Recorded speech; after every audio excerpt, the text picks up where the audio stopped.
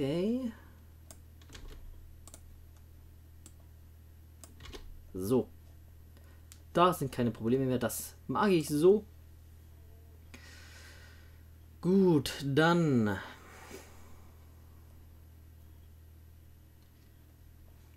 Müssen wir das natürlich dem Laser noch zuweisen. Jetzt hat er natürlich den. Egal. Ähm, was? Script cannot be loaded. Please fix. Hä? Laser? Mit Laser da keine Probleme. Na toll.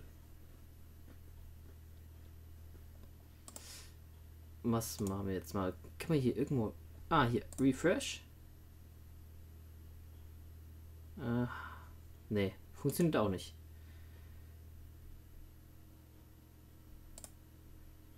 Mano. Man hat mit diesen Duplizieren bei Skripten wirklich nur Probleme. Okay, können wir hier irgendwie refreshen?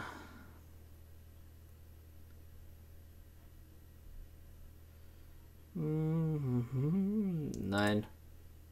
Oder halt aktualisieren. Funktioniert auch nicht. Ich habe jetzt kein Torpedo mehr. Versuchen wir mal.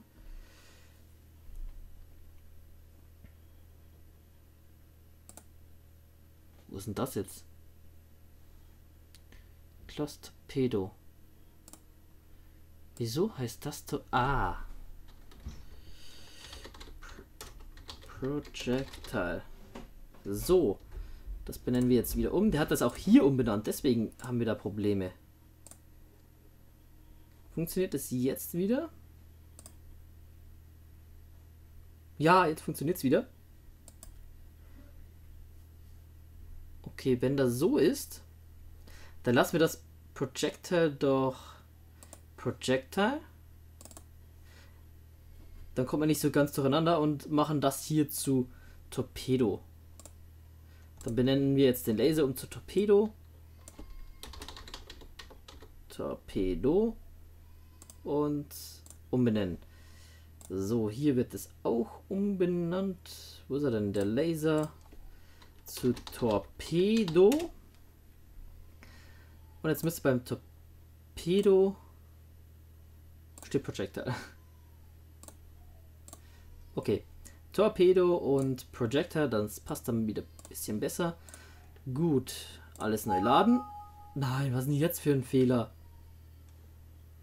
Projector, Torpedo müsste noch da sein. Ja. Speichern. Funktioniert doch. Äh, Projector und Torpedo. Ja, funktioniert eindeutig. Okay, wir haben hier Torpedo wird zurückgegeben und beim Projectile müssen wir jetzt noch Laser zurückgeben. Also nicht zurückgeben, sondern übergeben als Wert. Gut, dann kopieren wir uns das. War jetzt eine schwere Geburt. kopieren wir uns das nochmal und wir haben ja hier irgendwo auch noch ein On-Trigger Enter. Hier. Wenn es also das hier nicht ist, dann machen wir ein Mist, ein else hier und kopieren das hier noch. Da. Ja, schön. Jetzt. Oh, das bringt mir noch unen Verstand, echte. So. Gut, dann haben wir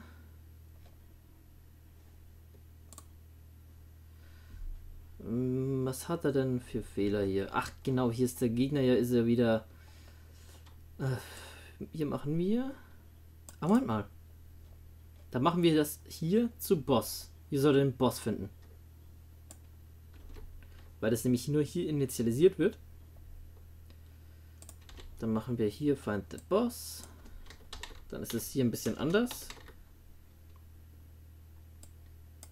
Ähm, so, Boss Enemy wird zu Boss. Nein, das soll nicht umbenannt werden.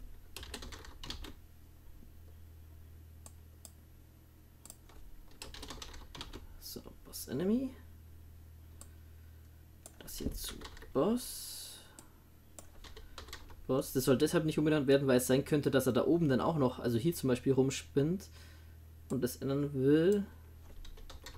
So, Boss. Dann brauchen wir auch hier das Get Component nicht mehr.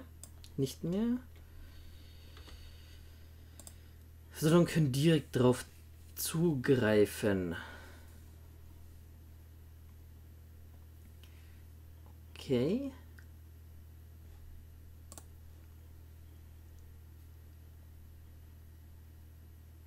Das hier allerdings soll nicht sein. So. Also findet der Boss. Es findet eine Explosion statt.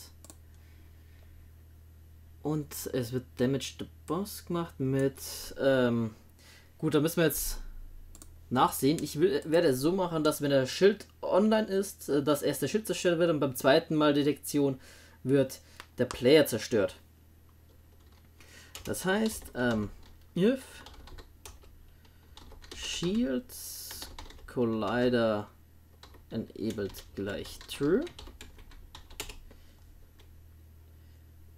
So, dann kopieren wir uns das hier. Mit Shield. Und ähm, darüber hinaus wird ähm, Shield Armor gleich auf 0 gesetzt. Jetzt muss ich mal nachsehen. Haben wir das bei Regenerate Shield gemacht? Nein, haben wir nicht gemacht. Das heißt, äh, wir brauchen noch das hier. Damage the boss. Turn the shield off and the, pl and the play collider on. So. Damit das ähm, mit der Shit ausgesetzt. Ansonsten haben wir hier übergeben wir hier noch Player. Und da wird der Spieler dann zerstört. Dann machen wir das hier. Reduce the life of the lives of the player and reset weapons. Ähm, passt, passt, passt. Start Quarter. Okay. Was wir jetzt noch brauchen ist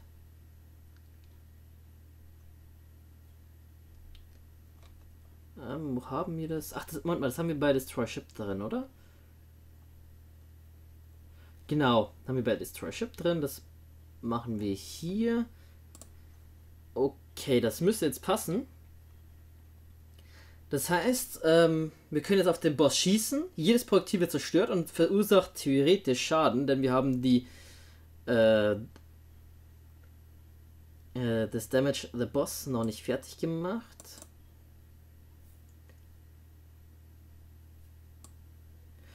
Aber wisst ihr was? Hier kommt es jetzt danach. Denn es könnte sein, dass der Spieler mit seinem letzten Leben sagt, ich mache Kamikaze und zerstöre den Boss. Und wenn wir das hier, da, das hier da oben haben, bei Damage to the Boss werde ich auch die Siegbedingungen mit einbauen, ähm, dann könnte es sein, dass der Boss zerstört wird und dann steht da gewonnen, obwohl man eigentlich tot war. Weil das hier nämlich erst danach abge abgebaut, äh, abgerufen, abgearbeitet, so rum, abgearbeitet wird. Und jetzt wird erst das ab abgearbeitet. Das heißt, wenn man hineinfliegt und den Boss theoretisch zerstört hat, hat man trotzdem verloren, weil man selber auch zerstört, getötet wurde. So. Als nächstes machen wir dann. Ähm, hm, hm, hm, Jetzt kurz überlegen. Ich glaube, wir machen den Boss Enemy. Und zwar das Damage the Boss. So. Da machen wir jetzt eine Abfrage. If sort of damage equals ähm, also die Methode equals werdet ihr wahrscheinlich nicht kennen. Äh, hier bestimmt, ob diese Instanz von System String und ein angegebenes Objekt, das ebenfalls ein System String Objekt sein muss, denselben Wert haben man kann Strings nicht mit gleich gleich verwert, äh, also nicht direkt zumindest ähm, vergleichen, denn dadurch wär, würden die Verweise verglichen werden. Immerhin, ähm, es ist so, die Strings sind eine eigene Klasse, die Chars als Attribute haben, als Werte und die Länge. Und mit gleich gleich würden wir den Verweis auf das Wort prüfen. Und das ist aber nicht immer gleich. Das heißt, wir müssen mit equals prüfen, ob es derselben Wert hat, ob es dasselbe Wort einfach ist und nicht das, ob es das gleiche Wort ist und nicht dasselbe. So rum. Bei gleich gleich würde dasselbe Wort geprüft werden und bei equals das gleiche. Und wir wollen das gleiche prüfen. Ich hoffe, ihr habt den Unterschied verstanden. Das ist sehr wichtig. Okay, ähm, meistens werden wir wahrscheinlich mit dem Laser schießen. Da ich davon ausgehe, dass man nicht Kamikaze unbedingt macht und es sein könnte, da, und äh, Torpedos und Raketen begrenzte Munition haben. Daher ist es am wahrscheinlichsten, dass wir den Laser schießen. Also werde ich das auch als erstes prüfen. So, ähm, so dann brauchen wir jetzt. Kopieren wir uns einfach mal kurz vom Player das hier. So, das hier ist jetzt die hier wird halt beim Player das mit der Shield Armor gemacht. Das heißt, der Schild äh, runtergesetzt. Und das kopiere ich mir jetzt einfach hier rein. Das hier brauchen wir nicht. Damage the Shield or the Boss. So, wenn die Schild Armor Größe 50 ist, dann machen wir jetzt einen festen Wert bei Laser. Nee, nee, Moment mal, wir könnten ja einen festen Wert direkt übergeben. Dann brauchen wir keinen String.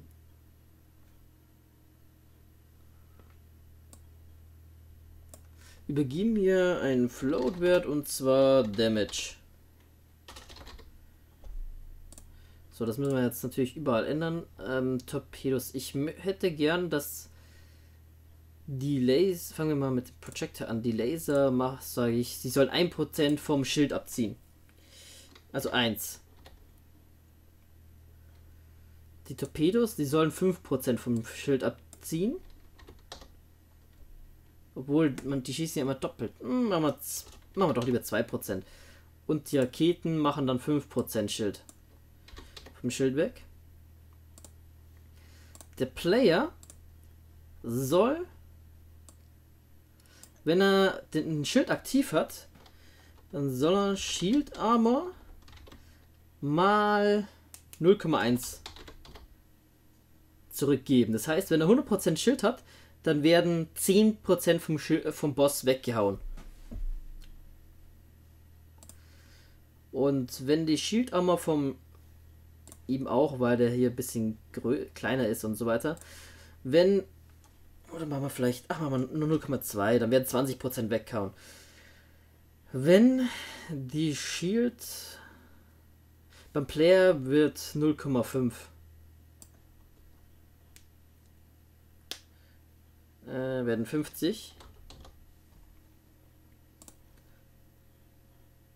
Wenn der Schildarm, wenn er 20% hat zum Beispiel, dann wird, äh, werden vier Punkte nur noch abgezogen, weil der Schild vom, oder, oder 10%, dann sind es äh, zwei Punkte, weil der Schild vom Spieler natürlich sofort zusammenbricht.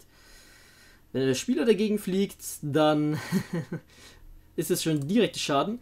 Da wird äh, der Schaden einfach zurückgegeben. Okay, zurück zum Boss Anime. Dann brauchen wir auch das hier nicht, sondern wir kopieren uns einfach das hier raus. Zack. So. Es wird jetzt verglichen. Ähm, wenn die Shield Armor noch größer als 50 ist, dann Shield Armor minus gleich Damage. Ist ja klar, höchstens kann 50 abgezogen werden. Durch, wenn der Spieler ohne Schild reinfliegt, macht 50 Schaden. Ähm, ansonsten. Und, und, hier haben wir halt mindest, mindestens 51 und das wird dann noch gesetzt. Ansonsten, wenn er weniger hat, da wird geprüft, ob er größer ist als Damage. Wenn er größer ist als Damage oder gleich, Nee, Moment mal, Moment mal. Wenn er gleich ist.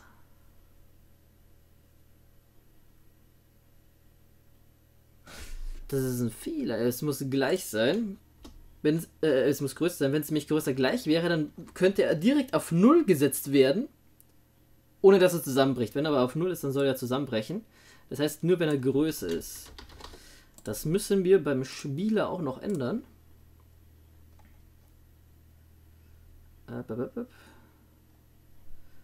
So, hier.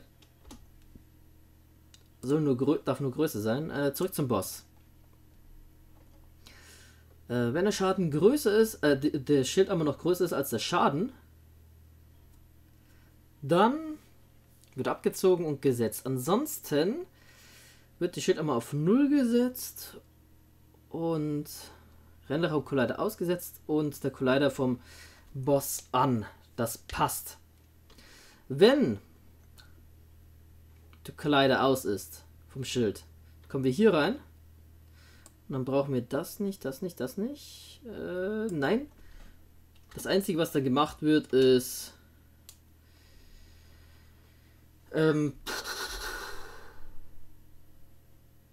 ja. Wir kommen hier rein. Ähm,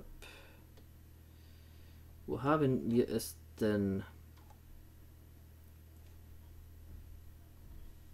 Ach, das ist ja gar nicht hier drin, sondern es ist hier drin. Hier, laut The Windscreen. Das holen wir uns raus, denn das kommt jetzt hier rein.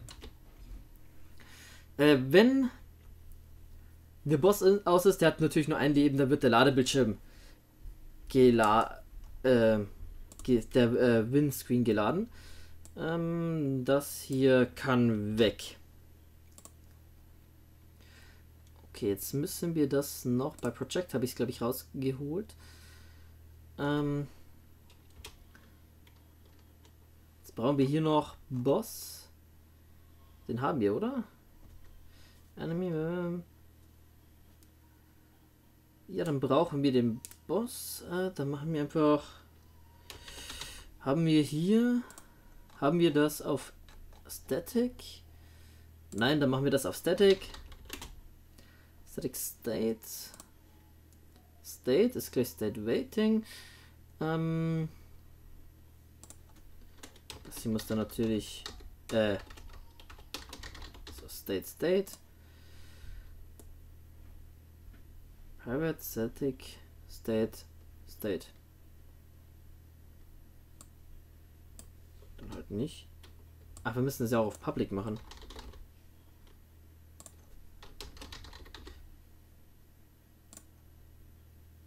Was ist State? Dann hat keine Definition für State.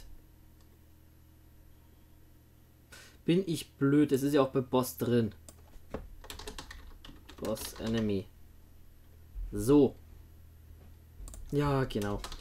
So, jetzt aber. Endlich. Okay, ähm.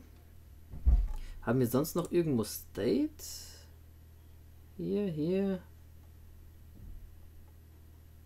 Irgendwo müssen wir das noch, noch haben. Hier. Äh, ich hab so. Nein. Okay. So, äh, so, dann. Wir müssen natürlich machen, ähm, das darf nur passieren, wenn der Status ähm,